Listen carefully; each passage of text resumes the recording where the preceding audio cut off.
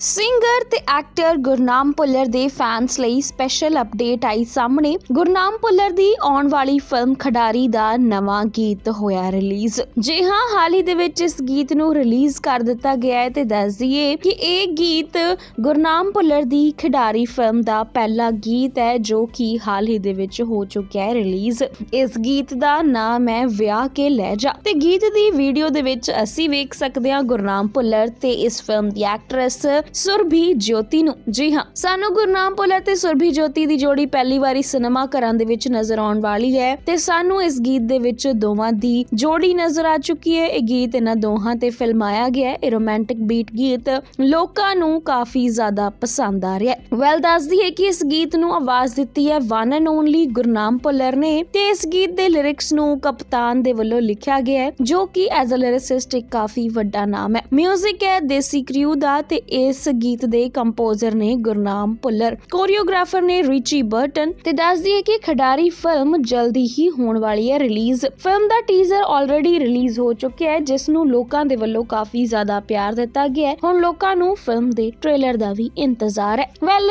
ਇਸ ਫਿਲਮ ਦੇ ਵਿੱਚ ਸਾਨੂੰ ਗੁਰਨਾਮ ਭੁੱਲਰ ਤੇ ਕਰਤਾਰ ਚੀਮਾ ਮੇਨ ਲੀਡ ਤੇ ਨਜ਼ਰ ਆਉਣ ਵਾਲੇ ਨੇ। ਨਾਲ ਹੀ ਸਾਨੂੰ ਫਿਲਮ ਦੇ ਵਿੱਚ ਨਜ਼ਰ ਆਉਣਗੇ ਸੁਰਭੀ ਜੋਤੀ, ਪ੍ਰਭ ਗਰੇਵਾਲ, ਲਖਵਿੰਦਰ, ਨਵਦੀਪ ਕਲੇਰ, ਸੰਜੂ ਸਲੰਕੀ ਧੀਰਜ ਕੁਮਾਰ ਤੇ ਰਾਹੁਲ ਜੰਗਰਾਲ। ਫਿਲਮ ਦੀ ਕਹਾਣੀ ਨੂੰ ਧੀਰਜ ਕੇਦਾਰਨਾਥ ਰਤਨ ਦੇ ਵੱਲੋਂ ਲਿਖਿਆ ਗਿਆ ਹੈ ਤੇ ਸਕਰੀਨ ਪਲੇ ਕ੍ਰੈਡਿਟ ਵੀ ਧੀਰਜ ਕੇਦਾਰਨਾਥ ਰਤਨ ਨੂੰ ਹੀ ਜਾਂਦਾ ਹੈ। ਫਿਲਮ ਦੇ ਡਾਇਲੌਗਸ ਨੂੰ ਧੀਰਜ ਕੇਦਾਰਨਾਥ ਰਤਨ, ਗੁਰਪ੍ਰੀਤ ਭੁੱਲਰ ਤੇ ਗਗਨਦੀਪ ਚੈਲੀ ਦੇ ਵੱਲੋਂ ਲਿਖਿਆ ਗਿਆ ਹੈ। ਦੱਸਦੀਏ ਕਿ ਫਿਲਮ ਦੇ ਪ੍ਰੋਡਿਊਸਰ ਨੇ ਪਰਮਜੀਤ ਸਿੰਘ, ਰਵੀ ਸ਼ਬਰੋਲ, ਅਕਸ਼ਦੀਪ ਚੈਲੀ ਤੇ ਗਗਨਦੀਪ ਚੈਲੀ। ਇਸ ਫਿਲਮ ਨੂੰ ਡਾਇਰੈਕਟ ਮਾਨਵ ਸ਼ਾਹ ਦੇ ਵੱਲੋਂ ਕੀਤਾ ਗਿਆ ਹੈ ਤੇ ਦੱਸਦੀਏ ਕਿ ਖਿਡਾਰੀ ਫਿਲਮ ਨੂੰ ਪ੍ਰੈਜ਼ੈਂਟ ਕਰ ਰਹੇ ਨੇ GFM ਐਂਡ ਰੈਵਿਸ਼ਿੰਗ ਐਂਟਰਟੇਨਮੈਂਟ ਯਾਨੀ ਕਿ GFM ਐਂਡ ਰੈਵਿਸ਼ਿੰਗ ਐਂਟਰਟੇਨਮੈਂਟ ਦੇ ਬੈਨਰ ਹੇਠ ਰਿਲੀਜ਼ ਹੋਣ ਵਾਲੀ ਹੈ ਗੁਰਨਾਮ ਭੁੱਲਰ ਤੇ Kartar Cheema leading film Khidari. Film ਦੇ ਵਿੱਚ ਸਾਨੂੰ ਦੋਵੇਂ ਹੀ ਖਿਡਾਰੀ ਦਾ ਕਿਰਦਾਰ ਨਿਭਾਉਂਦੇ ਹੋਏ ਨਜ਼ਰ ਆਉਣਗੇ। ਸੋ ਹੁਣ ਵੇਖਦੇ ਹਾਂ ਕਿ ਇਹ ਫਿਲਮ ਦੀ ਕਹਾਣੀ ਕਿਹੋ ਜੀ ਹੁੰਦੀ ਹੈ। ਕੀ ਕੁਝ ਪਰਦੇ ਤੇ ਦਰਸਾਉਂਦੀ ਹੈ ਕਹਾਣੀ ਇਹ ਵੇਖਣਾ ਕਾਫੀ ਜ਼ਿਆਦਾ ਇੰਟਰਸਟਿੰਗ ਹੋਵੇਗਾ।